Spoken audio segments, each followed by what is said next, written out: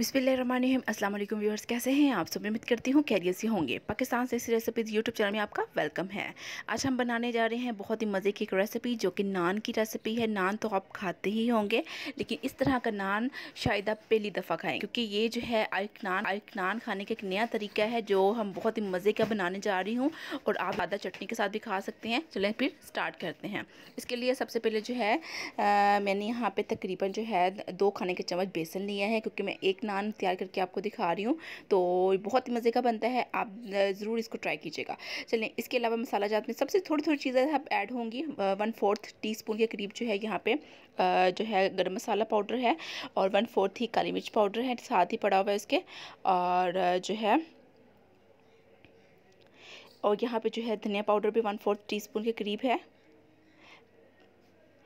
काली मिर्च का मैंने आपको पहले बता दिया है वन फोर्थ ही है और यहाँ पे जो है थोड़ा सेंटर में थोड़ा सा प्याज और एक हरी हरी मिर्च है कटी हुई, वो हम ऐड करेंगे। थोड़ा सा नमक है इस पर ज़रूरत और साथ में वन फोर्थ टी स्पून के करीब ही जो है कसूरी मेथी है।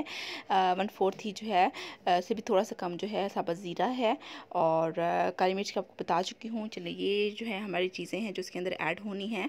हमारे जो है मसाले में, यानी कि जो बेसन का मसाला हम ऐड करें। बेसन वाला नान हम एक्चुअली बना रहे हैं, लेकिन थोड़े से ट्विस्ट के साथ। और इसमें सारी चीज़ें मैं ये ऐड कर दूँगी इस तरह, जो मैंने आपको बताई हैं। तो इसको ऐड करने के बाद जो है हम इसको मिक्स कर लेंगे अच्छे तरीके से।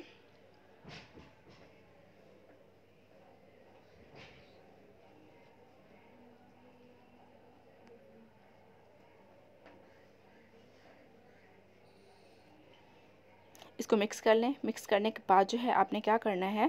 जो है इसको हल्का सा पानी ऐड करते जाना है और इसकी लई से बना लेनी है। यानी जो पेस्ट होता है थिक पेस्ट बनाना है।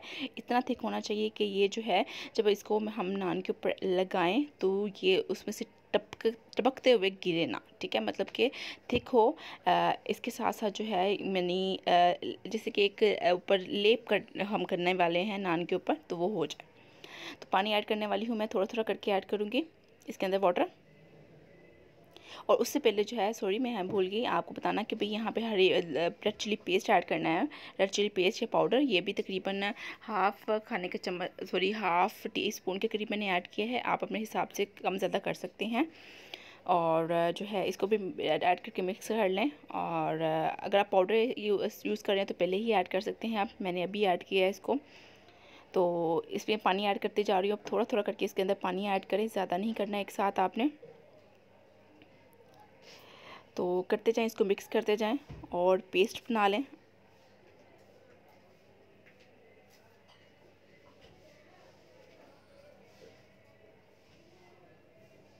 ये जी, ये ले जी, पेस्ट बन चुका है। आपको मैं दिखा देती हूँ, ये इस फॉर्म में होना चाहिए, देखें।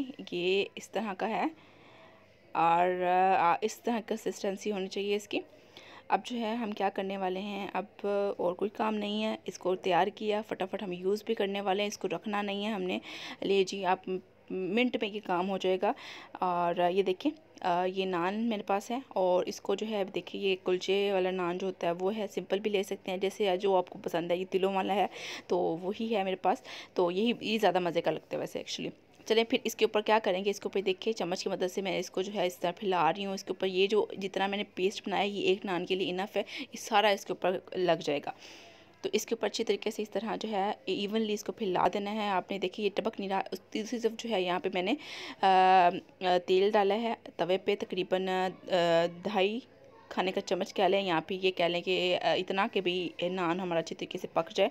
अब ये भी नहीं है कि आपने इसको तलना है, तलना नहीं है इसको मतलब जितना पराठे के लिए आप यूज़ करते हैं उतना आप डालें, उसके बाद इसके ऊपर नान मैंने ऐड कर दिया है, उल्टा किया है, यानी कि जो साइड जिस पर हमने वो ऐड किया था, बेसन वो मैंने नीचे रखी है, और आँच जो है पहले मीडियम थी, आप मीडियम से लो कर दें, क्योंकि हमने इसको बेसन को अच्छे तरीके से पकाना है, कच्चा नहीं रखना है इसको।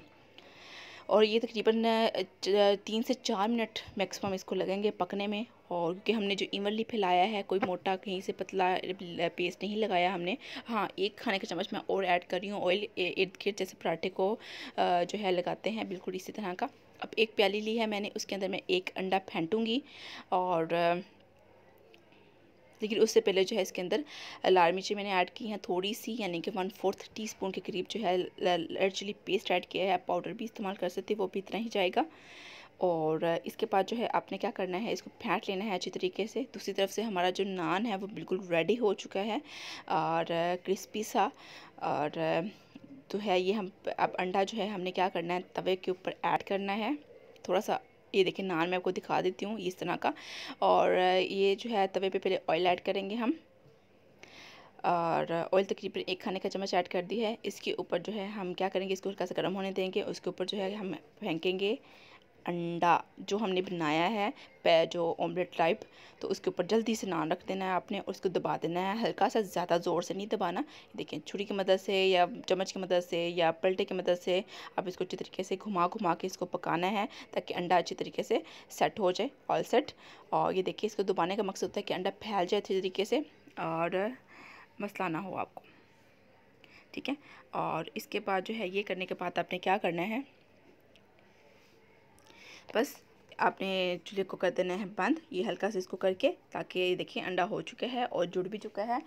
चूल्हे को कर दे बंद और ये कि माशाल्लाह से हमारा नान अंडा, बेसन अंडे वाला नान जो है बिल्कुल रेडी है। Within no time five to six minute total मुझे लगे हैं ये सारा प्रोसीजर करते हुए।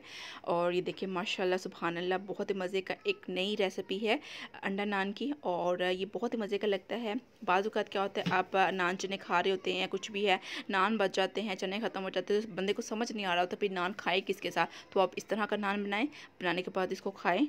बहुत ही मज़े का लगता है, रायता लें साथ में जो है चटनी के साथ ले लें, या फिर आप इसको ऐसे टीज़ भी खा सकते हैं। ये वाकई बहुत मज़े का लगता है।